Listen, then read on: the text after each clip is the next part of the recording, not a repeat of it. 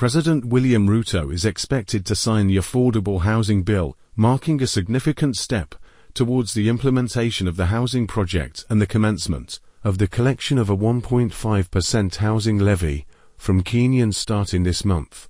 The contentious bill was forwarded to the President last week, following its approval by Parliament. However, opposition lawmakers have raised objections, citing inadequate public participation and expressing concerns that the legislation will exacerbate the financial burden on many Kenyans already facing high taxes under the provisions of the new law.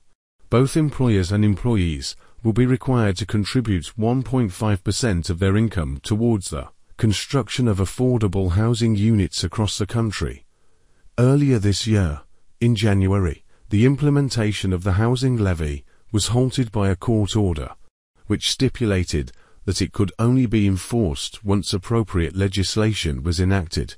To formalize it into law, President Ruto has welcomed the court's decision, affirming the government's commitments to comply with the directive and enact the necessary legislation. The bill has now been passed by Parliament, paving the way for its enactment.